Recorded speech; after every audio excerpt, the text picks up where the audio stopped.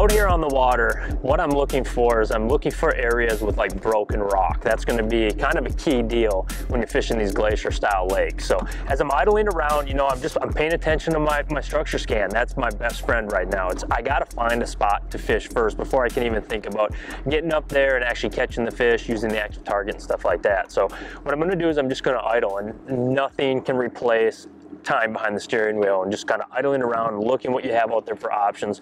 Bigger rocks, clusters of rocks, broken rock, ledges, steep breaks, sand spots, all different stuff that I'm looking for right now. And of course, I'm looking for fish. So what I'm gonna do is just I'm idling these areas, high percentage areas, why not? It's the dog days of summer. I'm gonna use high percentage areas. I'm gonna look at those and I'm gonna try to find the fish in that area, expecting I'm only gonna get, you know, one or two, two bites out of the school and that's it. So may as well go right to the meat and potatoes.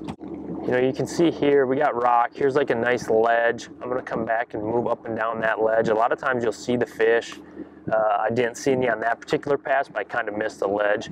I'm getting in here and I'm getting into good rocks. You can see a fish there.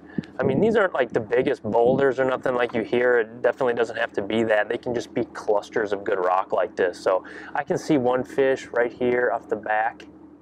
Um, if you, you can see a couple fish here right here, all hanging. Let me get a grab a screen grab of these.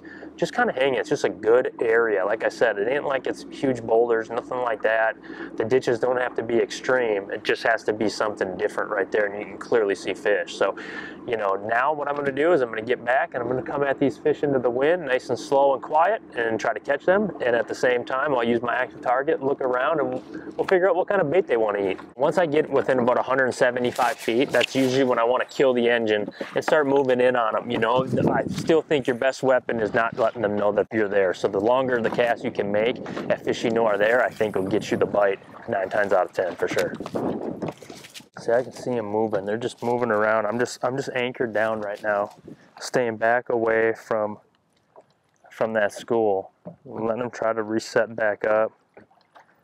You know, a lot of times they know you're there. You know, you come in, you make a couple casts, and I think they know they're getting fished for. So they they come into you, you know, you get up on top of them and they know. But if you can pull back away from them, you start getting some bites. Got that when I could see that school start to follow the bait. And the big one ran in and got it. Here he is on the active target. I'm fighting him right here. and the school's underneath. Look at that.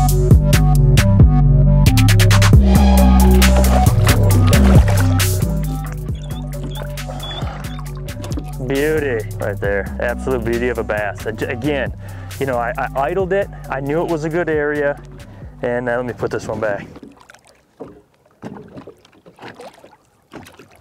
Yeah. You know, that right there was a perfect example you know, of just a simple bait change.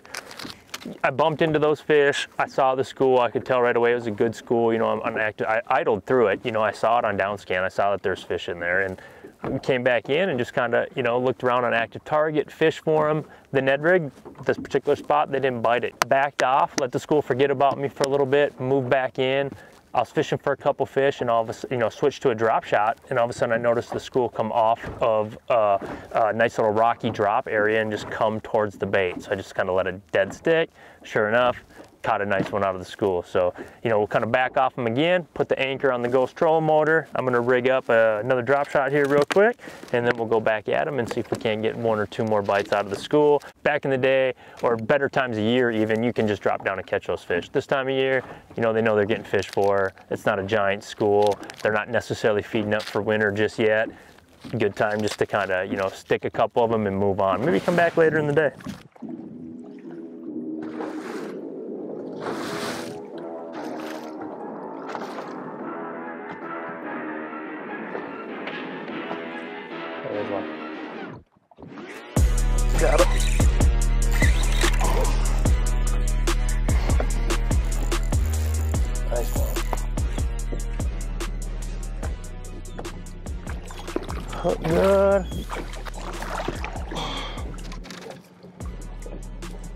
Beauty. Beautiful bass. Hit a half of a little Exo Stick on a drop shot. Wacky rigged. And that thing's an absolute booty. You can see this here. This is kind of normal for Mille Lacs. you know, I think what they're doing, I see it a bunch. Could be bugs or something like that, but at the same time, I think it's also like they're hitting the rocks or something like that and trying to get those crawdads up. That is a beauty. Let's let this one go.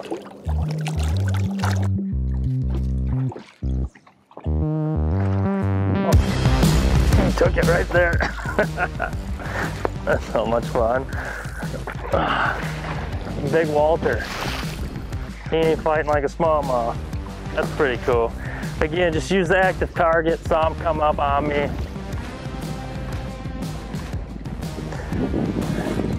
See, the old active target drop shot ain't always smallmouth. Can't always tell what's coming up on you. It's a nice walleye here. I'm gonna get him put back right away. See ya.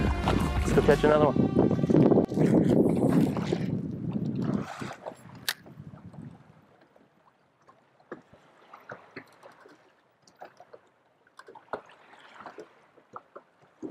Here we go. Here we go. Got him. There he is.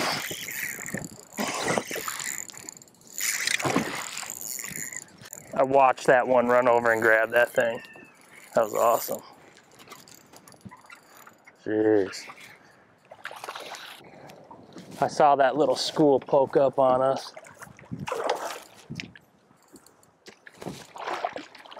Hmm.